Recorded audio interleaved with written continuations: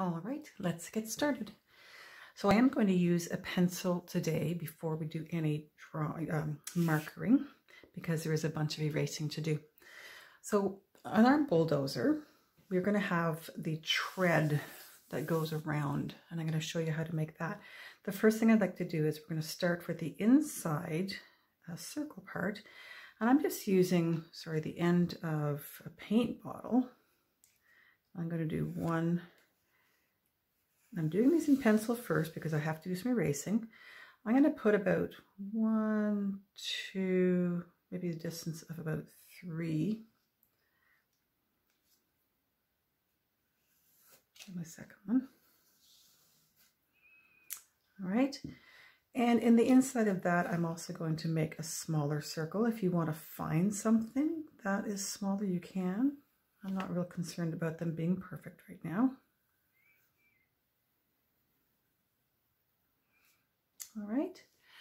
And the next part we're going to do is we're going to draw a line that goes from here to here.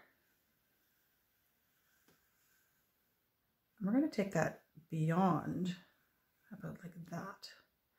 And we're going to do a second, we're going to, basically it's a big long rectangle. Like that. Okay. All right.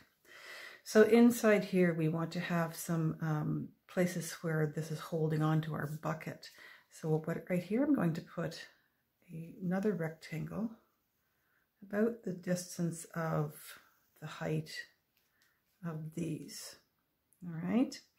And then what I'm going to do now is I'm going to draw around this whole thing here. Okay, I'm going to come fairly close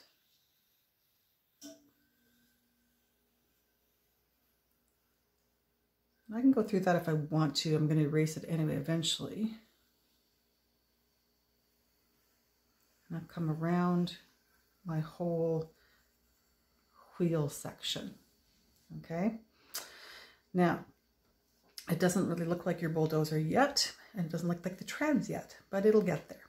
Let's go ahead and make our bucket. So where we have here, right at the middle here, I'm going to come up and I'm almost going to make a Y See the Y there? And I'm going to make another line there.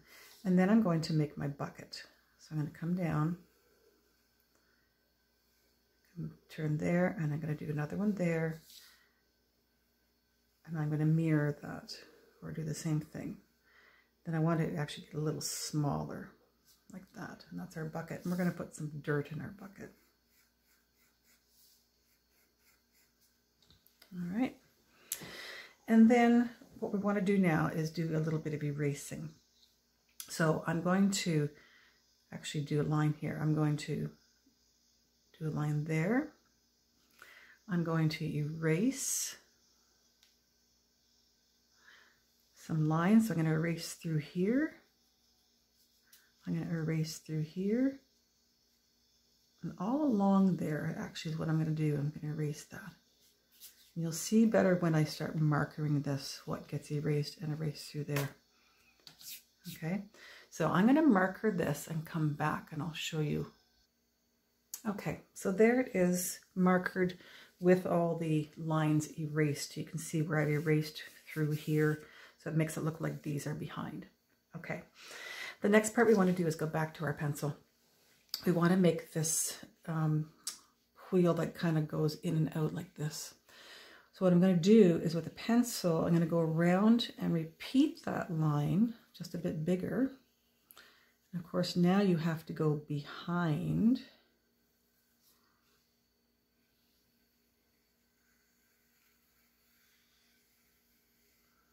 Okay, and you can go ahead with a pencil or you can just go ahead with marker. What I'm going to do now is I'm going to draw and I'm going to come up and make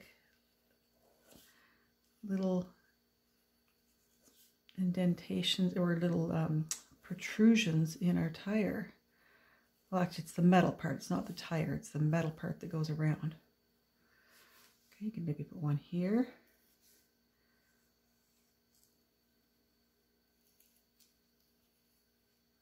Okay, They should be all the same, but you know what? If they're not, not a big deal.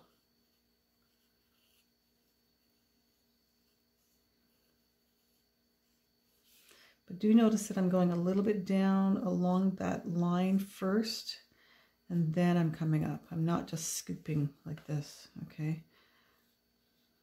I have to kind of figure out how many more do I have here. I think I have one more right there. I'll just make that big long one. That's okay. And now I'm also going to erase that line. Okay, so now we've got the bottom part of our bulldozer. Let's do our top. I'm going to use a marker right off the bat.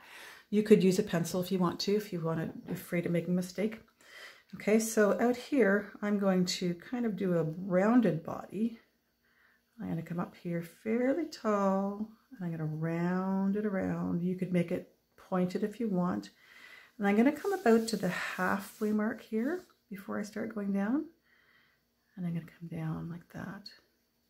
And I'm going to be about the distance halfway here, about halfway. And I'm going to come forward. And right here, as I come around the corner, I'm going to give it the light that kind of goes out from it, like that. And then I'll continue down. All right. If you'd done that with a pencil, what you could have done is just come down here, done your pencil line, and then done it afterwards. Okay. All right. Now we want to have our window and door. So what I'm going to do is just trace around the shape here.